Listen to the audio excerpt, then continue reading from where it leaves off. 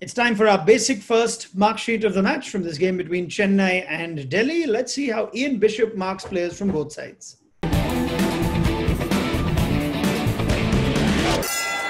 Basic First, specialized platform for JEE Main Advanced, NEET and 6 to 12. Right, Bish, the Delhi Capitals seem to be getting better and better and with each game. Let's uh, go to their players first. And Prithvi Shaw set up that uh, game and that innings with his half century. How would you mark young Prithvi Shaw?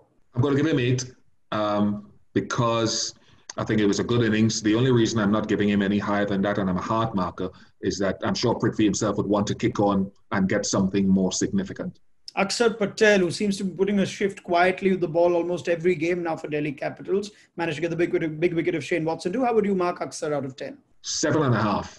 Um, I thought it was a really good spell of bowling, uh, throw that wicket in there. So I'm going to rate that very highly from that performance tonight. Let me see if you remain a hard marker as the fast bowler comes up in our mark sheet. Anrich Nortje, excellent day for him. How would you rate Nortje out of 10?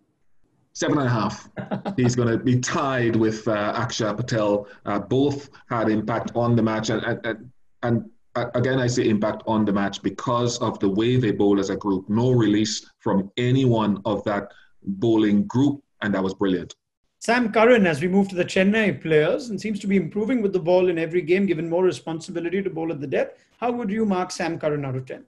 I'm giving Sam, hmm, if I'm looking just at it, obviously, just for his bowling tonight, I'm going to, let me see, what can I give him? I'm giving him maybe a six and a half uh, because I look at him as an all rounder. So every time I see him, I want him to give me the full cadre of performances, not much opportunity with him. All right. Piyush Chawla today, two wickets and uh, went for quite a few runs against Rajasthan, came back and managed a couple of wickets. How would you mark Chawla out of 10? I'm giving him six. Um, I know he ran into, a, he came back very well. Um, leaked, a, I think he, he leaked a couple early, a, a, few runs early, but he showed great strength of character. And finally, Faf du Plessis once again ends up as the top scorer for uh, CSK. That's three games and three scores now for the former South African captain. How would you mark Faf out of 10? I'm giving Faf simply because he's top scored six. He's batting well, um, but again, uh, he had a, a, couple of chances, I think, and he would want to continue kicking on. So it's not a knock on him. We're just talking about just today's performance. Ian Bishop, thank you very much for marking players from Chennai and Delhi. This was our basic first mark sheet of the match.